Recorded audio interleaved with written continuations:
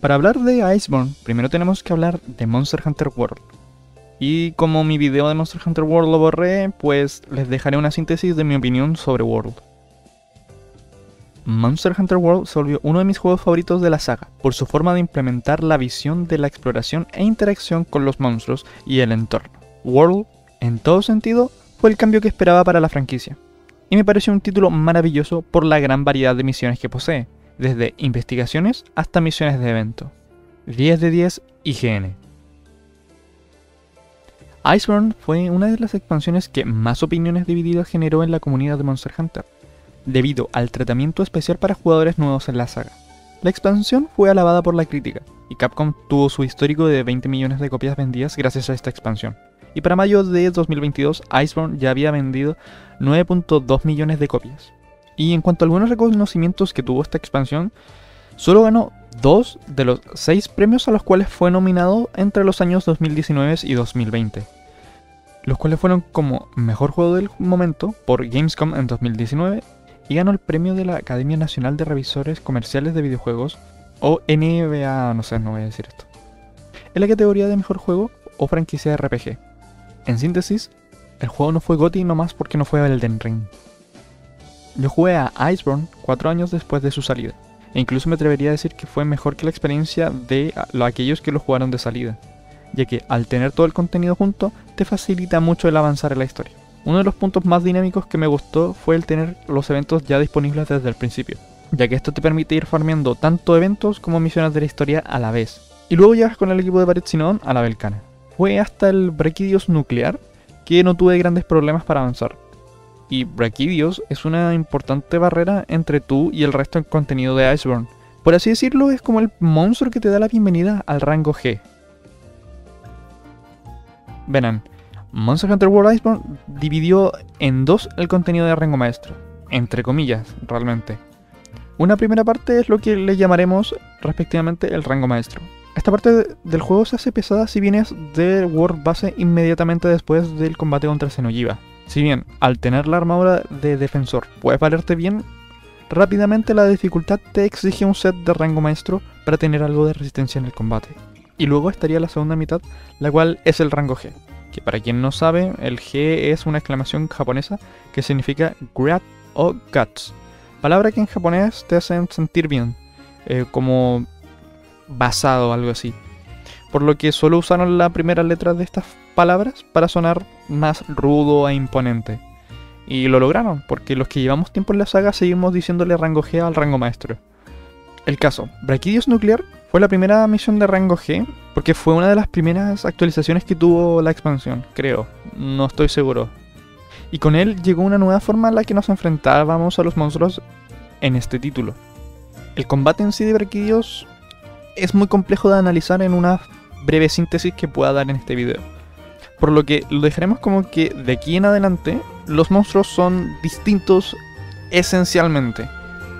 Luego de Brequillos tenemos al Rayen Furioso, el Cerco de Safiva y a Energiente Regio. Este último desbloqueado al RM100. Y esto es solo la mitad del rango G. De fondo, mientras estás en este rango, eh, debes subir tus tierras de destino. Tierras que por cierto se desbloquean con el Brequillos. Todo este contenido es perfectamente genial. Es novedoso, tiene monstruos queridos por la comunidad. No puede haber algo mejor, ¿verdad?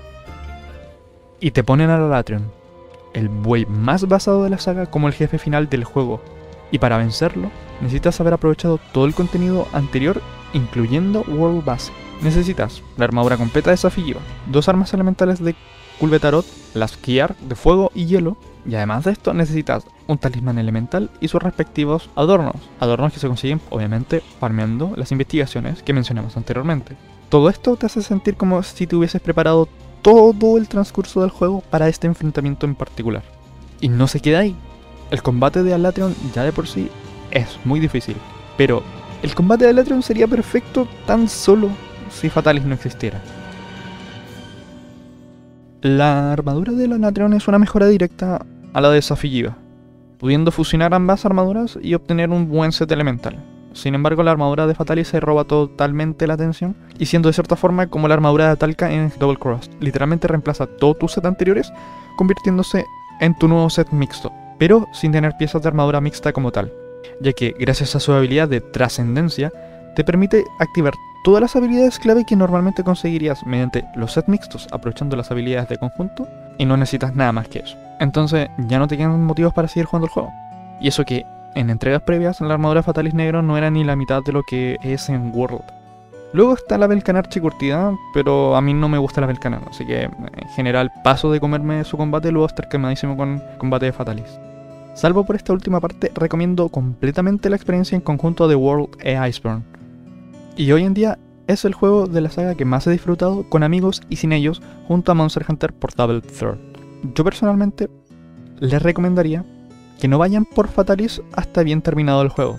Y no por un tema de requisito, sino que más que nada tengan en cuenta de que después de Fatalis se acaba el juego y no puedes seguir jugando. No es 100% así, pero sí te deja esa sensación luego de derrotar a Fatalis. Es como, lo matas, tienes todo, te puedes farmear su set si quieres, si no, te la puedes sudar. Pero después de vencer a Fatalis, como que no hay ningún otro reto que esté a la altura. Y lo único que te quedaría por hacer sería seguir farmeándotelo para hacerte su set completo y sus armas. Algo similar ocurre en el Monster Hunter Freedom con el Fatalis Carmesí, que después de haberte pasado todo el gremio ya no hay muchas cosas que hacer, pero esto en otros Monster Hunter no solía pasar. Como siempre quiero recordarles que este es mi punto de vista. Sé que hay personas que después de Fatalis siguen jugando con su set tochísimo en misiones de RC bajo, pero como dije, eso pierde un poquito la gracia. En lugar de activar el modo difícil, al terminar el juego se activaría el modo fácil, lo cual en estricto rigor tampoco tiene nada de malo. Y con esto hemos llegado al final del video. Si te gustó, considera dejar tu buen like, comentar todo lo que tengas que comentar y suscribirte para no perderte mis próximos videos. También agradecer a los miembros del canal y a su generoso aporte mensual. Dicho esto, me despido, les mando un besazo, un abrazo psicológico y no soy Dross, pero te deseo muy buenas noches. Nos vemos. Hasta luego. Iceborne es mejor que el puto Freedom United.